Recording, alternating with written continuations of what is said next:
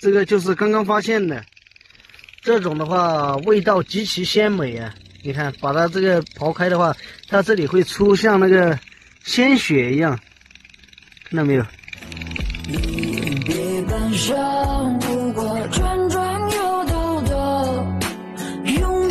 ？Hello，大家好，我是陈全。今天的话，我们上山过来这边找一些青苔啊，因为今天天气下雨了，无法上山为大家分享兰花了。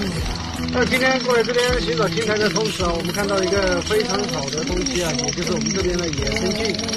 这边这种松树林里面一般会生长出这种松菌啊，我们这边叫做松菌。等一下我分享给大家看一下，大家有没有吃过？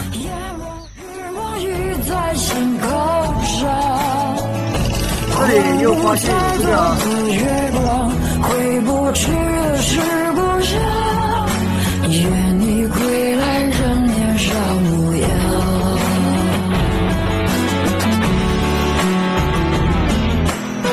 过来这边啊，还是有很多的。今天可以一顿美美的中午餐。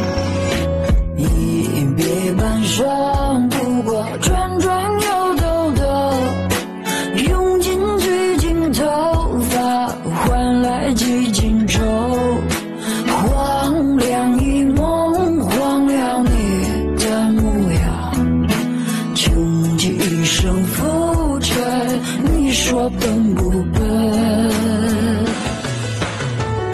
我们翻山过海，要流离半生在路上。夜幕月光雨在心口上。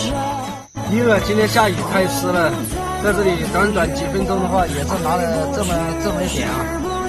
下，我们拿回去就煲汤喝。在网上有很多人就说，有的蘑菇啊，就是有毒不能吃的。所以的话，上山如果遇到蘑菇不认识的蘑菇的话，就不要采摘了。这个的话也是在我们这边经常吃的，所以我才我才敢这样子采摘回去。